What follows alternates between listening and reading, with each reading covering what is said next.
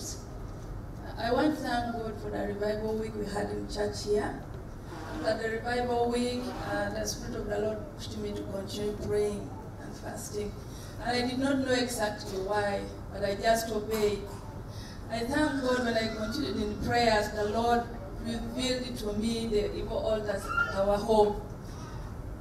And the Spirit of the Lord took me back even to the time I was seven years and showed, started showing me all the evil altars that were being raised at our family. And some of them particularly pointed at me. I thank God I was able to pray and I could see every night, I could see how I was overcoming. Secondly, I also want to thank God on 23rd of this month, Wednesday last week was my birthday. Um, on 22nd, that's the night to 23rd, I had an encounter with the Lord. And the Lord gave me a, a deeper revelation um, and connected it to the relation of the children of Israel, what was happening in this month. And I'm very grateful to the Lord because in the morning, when I woke up, I, the burden was lifted off. I saw things in a different angle, and my life was totally not the same.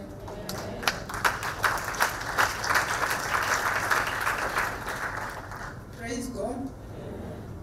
They say we should summarize this testimony, but mine is so long. In October, uh, but I'll summarize it. In October 2014, I went to hospital after having tried to conceive the second time and failing. The doctor sent me for a scan. The scan revealed my uterus was bulky with multiple fibroids.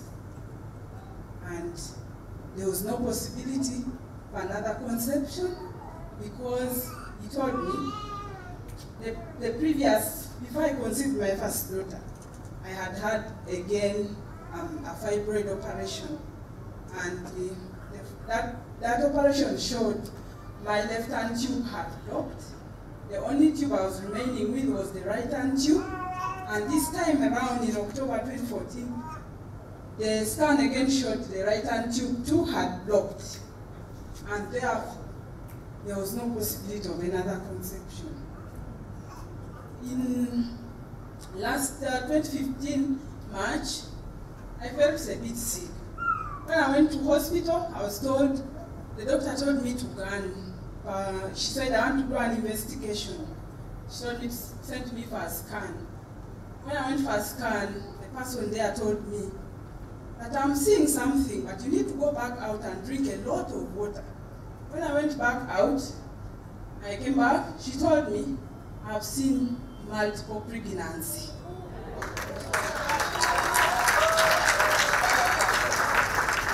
I asked her, what do you mean? She says, you're expecting twins.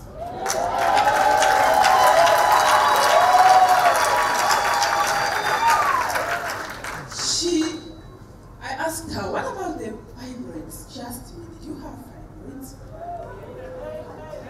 I said, yes. She said, I'm only seeing one very small one. I burst in tears because it was beyond me. I went back to the doctor. She read the report. She checked my hospital report. She told me that, eh, Esther, this is a miracle. You pray? I said, yes. She told me, right, indeed, things of God are beyond human.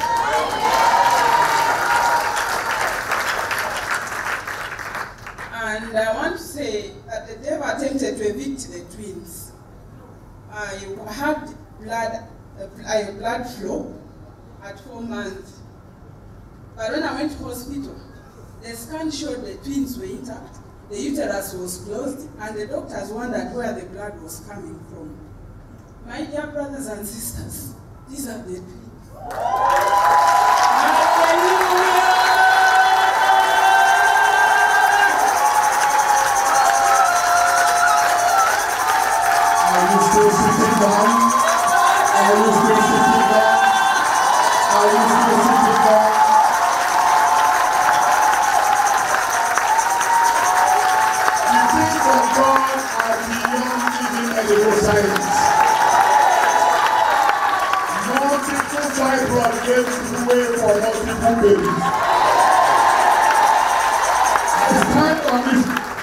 Testimony for every woman here believing God for such a miracle. Your time has come.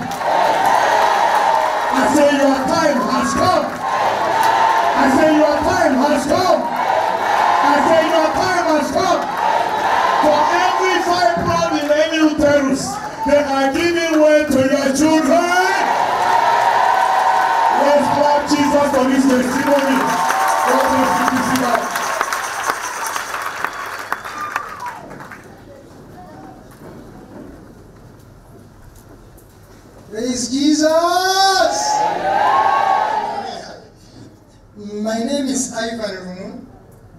I cannot afford to stand while I'm appreciating what Jehovah has done in my life. Praise Jesus! Kama yebaziwe. I was imprisoned by poverty. From nowhere it happened. But from Monday, from Tuesday up to today, Jehovah is always making me smile at myself. Actually, when I'm on my bed, I laugh at it. Praise Jesus. Those who have been observant, you know, I didn't have shoes. For, from, from the time I, I joined this church, I didn't have shoes. Would get money, but it was never enough to get shoes. I would get slippers. Would, at one time, I was embarrassed. I came with one of the, you know, ton. Papa gave me 50,000.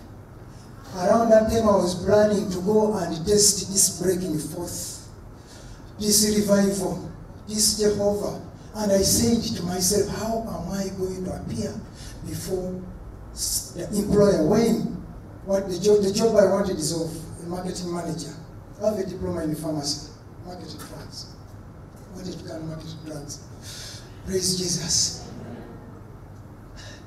I went and bought shoes. As I was thinking about looking at my beautiful shoes, then the following day, some around around around that time, I, I don't remember. I'm confused with this Jesus. He's a romantic lover. I call him my husband.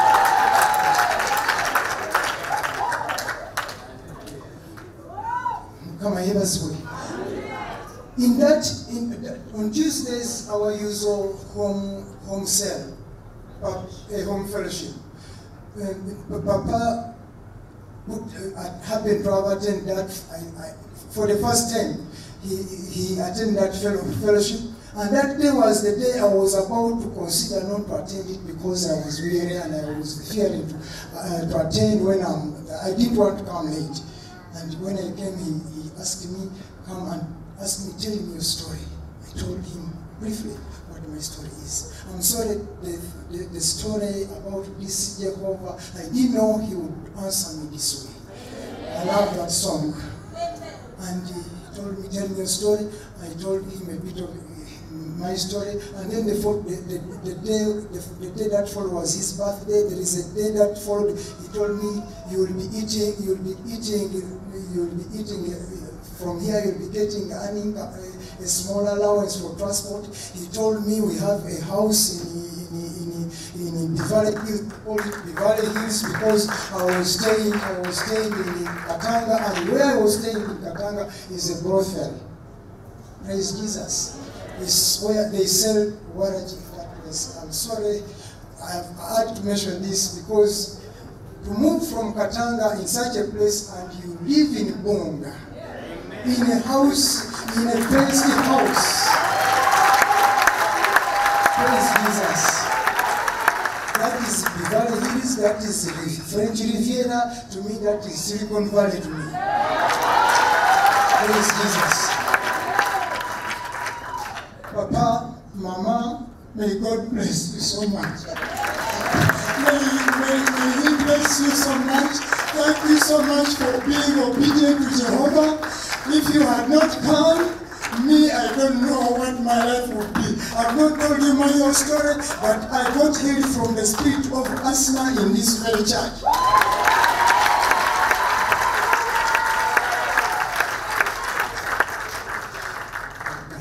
I'm about done. The day, on the day when I was supposed to go and vote in Mulago, was arrested and slept in. They told me it is a criminal trespass. Have the police phone there. Criminal trespass in Mulago Hospital when I'm a health worker. It is where I did my pharmacy practice when I was training. That is the devil's wo- wo- workshop, the manipulations. But I, I'm here to humiliate the devil because I am set free and I'm, and for, for it is finished and I'm free indeed. I glorify Jesus so much. Thank you so much, Pastor. Thank you. Thank you, Pastor Charity. Thank you, all the pastors and the ushers and the ministers in this church. I praise Jesus so much for all your lives.